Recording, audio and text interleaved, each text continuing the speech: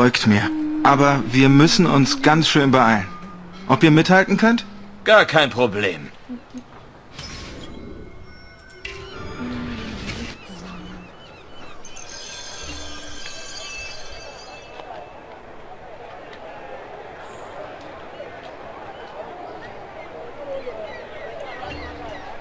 Bondi!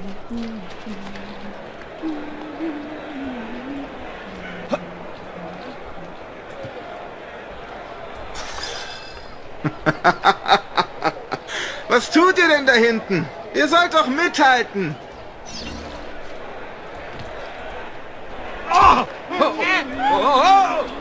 Mein Nichtsnutz von einem Ehemann. Ah!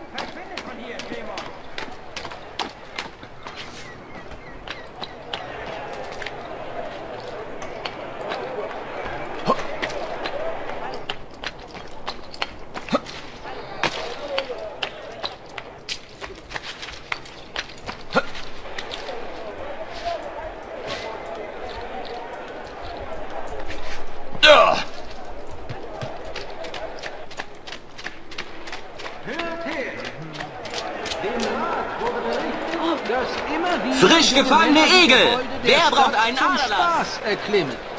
Obwohl dies nicht per se verboten ist, ist es doch nur so lange unterhaltsam, bis jemand dabei ernsthaft verletzt. Eine Bekanntmachung Oh, das ist jetzt wieder so ein total zum Kotzen ätzendes Minispiel Kackerotzer. Jetzt mal ohne Quatsch, das ist doch so nervig. Das ist so nervig, gerade weil die Steuerung noch so kacke ist. Jetzt muss ich den Depp hinterher rennen. Für was denn? Das ist so Bullshit, ja, auf Zeitdruck irgendeinem Idiot hinterher zu laufen. So kann man sich auch mit aller Gewalt irgendwie äh, mal die Stimmung kaputt machen. Doch.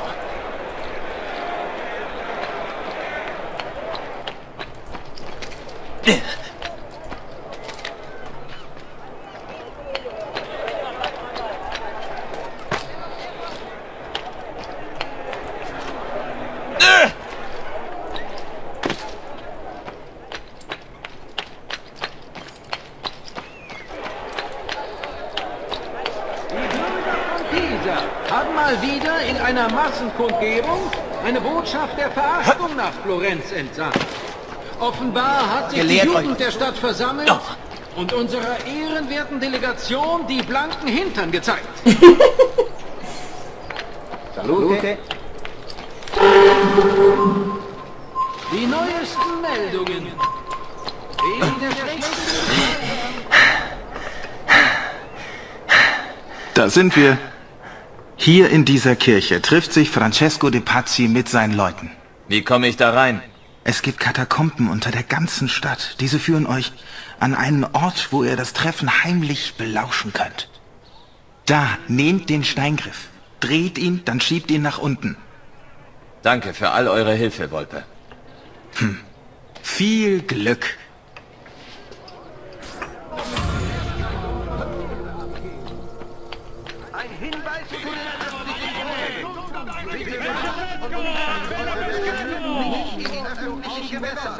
Gewässern. Das Gärten ist grundsätzlich nur außerhalb der Stadtgrenzen erlaubt.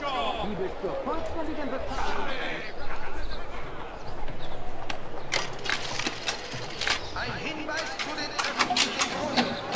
Bitte wascht und färbt eure Wäsche nicht in öffentlichen Gewässern. Ist vielleicht jetzt ein bisschen sehr technisch aufwendig fürs 15. Jahrhundert, aber naja. Okay.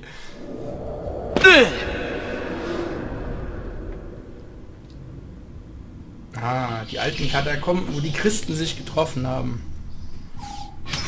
Wie das Römische Reich noch der Meinung war, Religion braucht keine.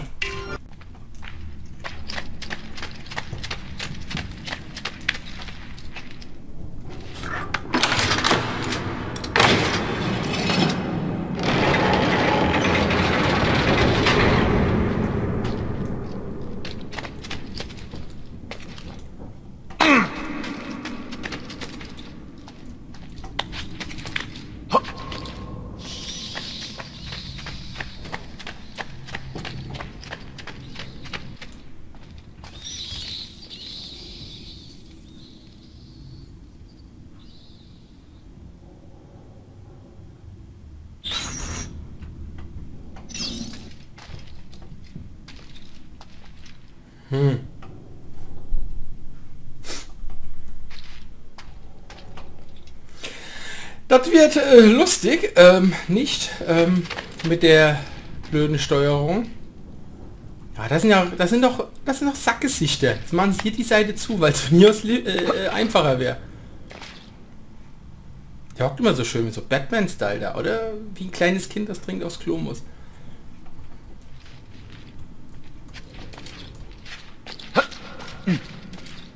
Was ist das denn? Nein, äh, äh, da runter. So, jetzt. Ey, Alter! Mensch! Ich hab doch gesagt, mit der Steuerung wäre das äh, speziell. Alter! Du sollst springen! Ich weiß, ich würde auch nicht drüber springen. Ja, toll. Das war nicht schlau. Die könnte mich auch mal gern haben. Ich würde auch nicht runterspringen. Also darüber springen.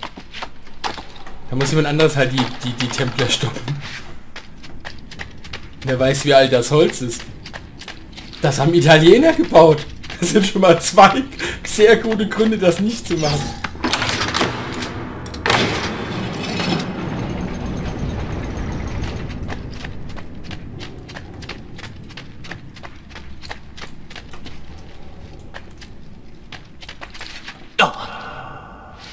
Und schwingen und schwingen und schwingen. Wie so ein kleines italienisches Klammeräffchen. Und schwingen. Ja, und wie jetzt weiter? Geht er von allein weiter? Wahrscheinlich nicht. Ah. Ah, das ist natürlich... Äh, ich weiß nicht, ob das in der Situation wirklich hilfreich ist.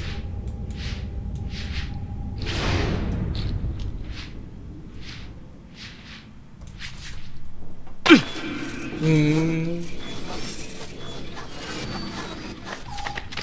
Aber lieb von dem Spiel, dass wir von sowas irgendwie nicht sterben, sondern immer so einen Notpunkt noch bekommen.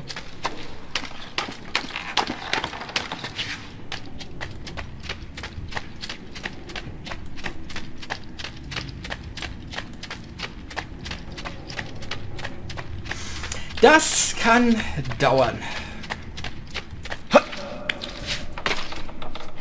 Ah, einfach in der Bewegung. Alter, Alter, Alter, Alter, Alter. Mensch. So wahrscheinlich ist so bei dem bei Entwicklung von Teil 1 der Name Altair entstanden, weil irgendein Entwickler immer hat, Alter, Alter, Alter. Ja, das war jetzt irgendwie nicht so schlau.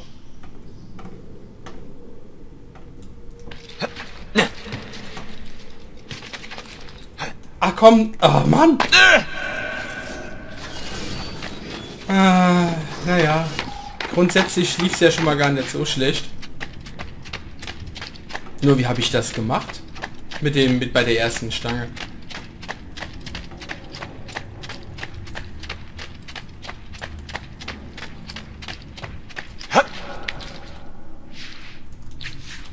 Ja, wenn man nicht erstmal hängt, dann lässt es sich einfach bloß ohne Falle, wie so ein, wie so ein nasser Sack Pasta. Ja, wahrscheinlich ist so die Pizza entstanden. Irgendein Italiener hat einen anständigen Kuchen fallen gelassen. Da, da, da, Toll, jetzt habe ich äh, das Main-Theme von Black Sails als Ohrwurm. Super. Naja, es gibt Schlimmeres. Ah, einfach in der Bewegung immer weiter. Ja, ja. Bedingt.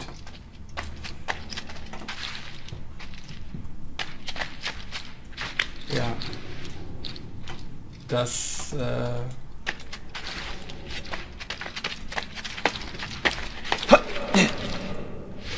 Ja, und wenn er erstmal... Ja, toll. So, wenn er erstmal nicht äh, sich weiter bewegt, sondern da hängt, dann ist, ist Schicht. Da macht er gar nichts mehr.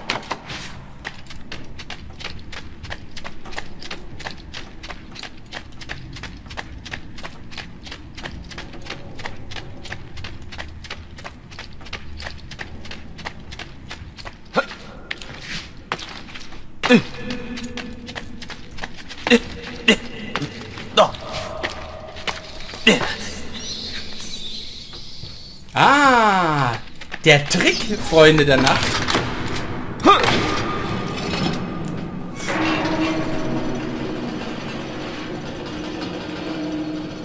Der Trick ist, im Prinzip darf man die Leertasten nicht loslassen.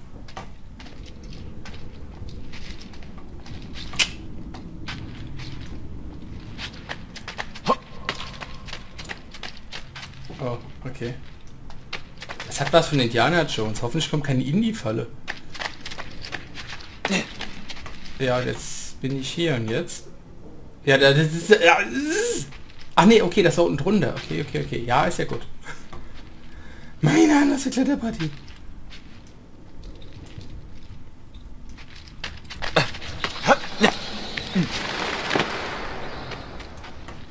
Ja. Ah, da ist ein Schalter, gut. Hui! Genau, hui!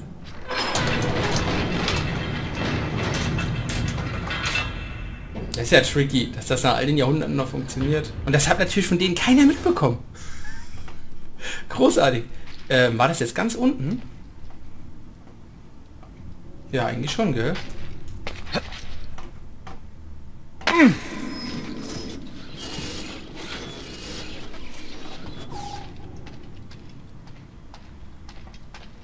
Es gibt Leute, Wie lange müssen wir hier stehen, Saferio? Es ist kalt. Was willst du, Ilario? Messer Pazzi bezahlt uns gutes Geld, um den Eingang zu bewachen, und die Toten werden uns nichts tun. Ich kann es kaum erwarten, Elena zu erzählen, wie viel Geld wir heute verdient haben. Boah, das ist mal ein schönes Portal. Wenn ich mal Knete an irgendwie hier an Knete kommen sollte. Ich weiß zwar nicht wie, aber wenn, dann möchte ich so ein Portal haben. Ja? Und zwar an der Tür zu meinem Badezimmer, ja, zum Porzellanthron. da denkt jeder, boah, was ist hinter dem Portikus verborgen? Und dann macht man, schwingt die massiven Flügel auf und es erstrahlt der Porzellanthron. so. Ähm, ich nehme an, das wäre nicht doof, die Medizin zu nehmen. Ich will nicht wissen, wie viele Leute jetzt den ganzen Weg wieder zurück sich geschwungen hätten, wie es ein italienisches Klammeräffchen. Hm. Die Pfütze sieht tief aus. Wir gucken uns erstmal um. Aber ich nehme an, das Wasser ist die Lösung.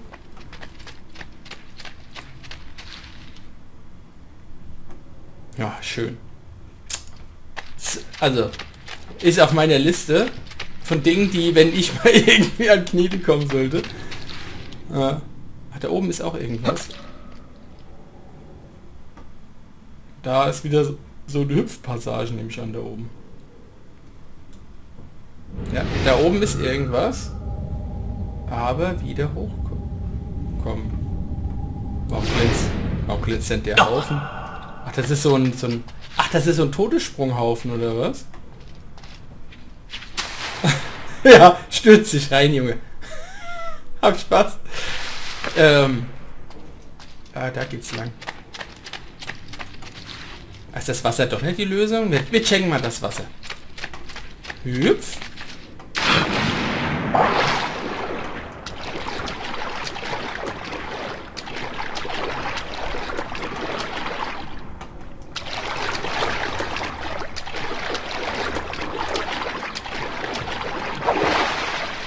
Also das Wasser ist nicht die Lösung, aber es wenigstens mal sauber kommt. Ach, guck mal an. Der ist nass und jetzt trieft er. Das ist ja mal schick. In den meisten Computerspielen sind die, sind die, Putz, äh, sind die Staubtrocken, wenn die aus dem Wasser rauskommen. Das ist doch mal schön, das Detail. Ja, wir lassen dann rennen den kleinen Italiener. Da trocknet er auch wieder. Das, mit, das ist mit so einem italienischen Auto genauso. Toll, es ist ein... Es geht das war nicht die Lösung. Gott, wir müssen irgendwie da hoch, nehme ich an.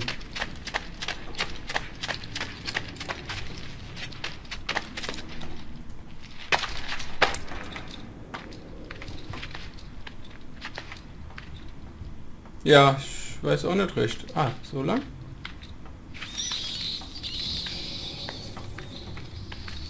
Ah, okay, warte mal.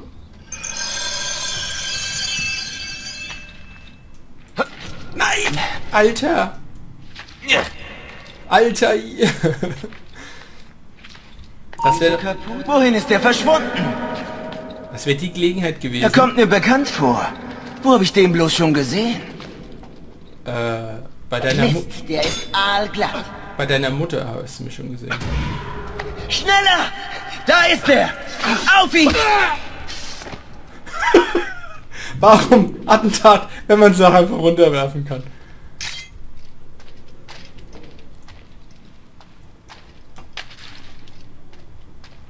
So mit dem Anschleichen hat's das Spiel ja nicht so, gell? Aber das Schöne ist, dass sie fast alle taub sind. Die haben ja mitgekriegt, wie ich das Portal aufgemacht habe, das riesige. Mit den riesigen Gegengewichten.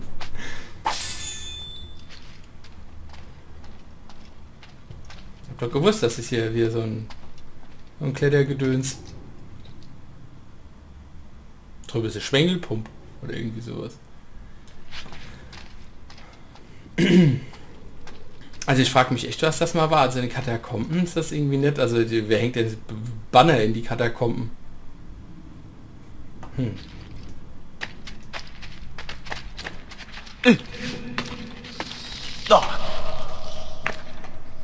Ja, der Trick ist echt einfach Leertaste gedrückt halten. Dann macht der eh alles automatisch. Ich breche mir die ganze Zeit ab.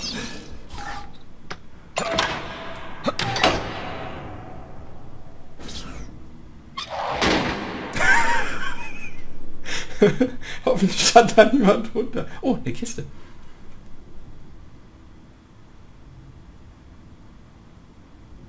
Super. Oh Mann, ey, das ist so... oh, ich hasse das. Diese... Nein, du sollst ja schon runter. Ja, auf, wirf. Jetzt stell dich nicht so an. Lass los. Ein geheimer Bereich. Wow, war der geheim. Ich bin, ich bin sprachlos, wie geheim der war.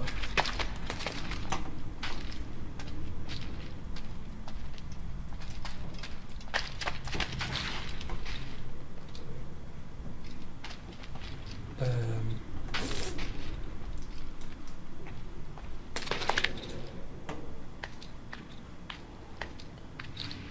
Boah, nur vom Zugucken tun mir schon die Arme weh.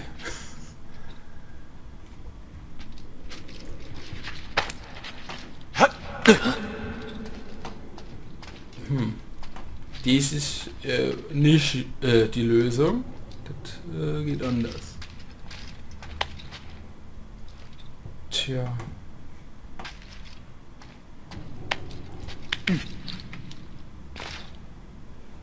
Sagen, der Sarg ist die Lösung. Nein, Alter!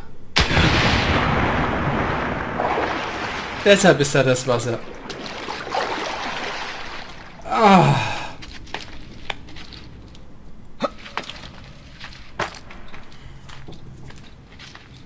Wenigstens ist er ins Wasser gesprungen.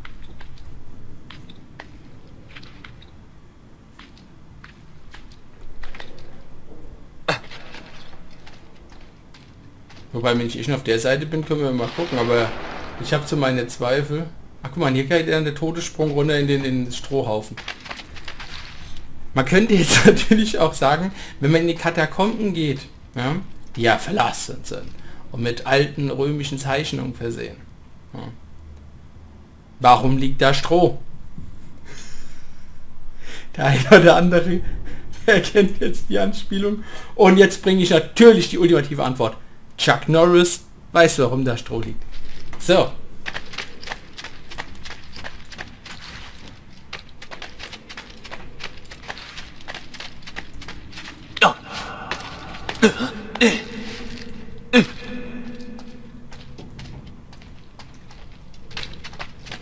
Warum einfach, wenn es auch kompliziert geht? Die große Frage ist doch,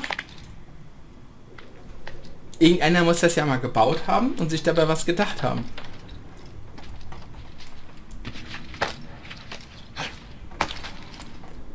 So.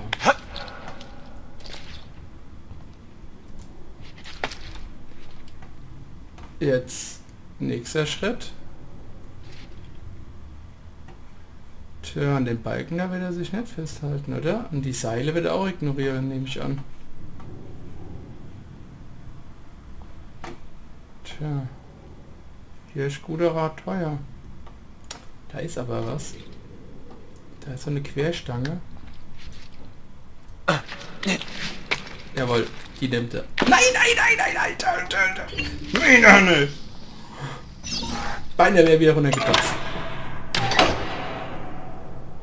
Bei Jim Kirk hat mir immer gesagt, Overacting. Merda! Die Tür! Pass auf, während ich nachschaue. Von wegen leichte Aufgabe. Ich sagte doch, wir hätten nicht kommen dürfen. Wenn ich etwas höre, renne ich zum nächsten Wachposten. So wahr mir Gott helfe.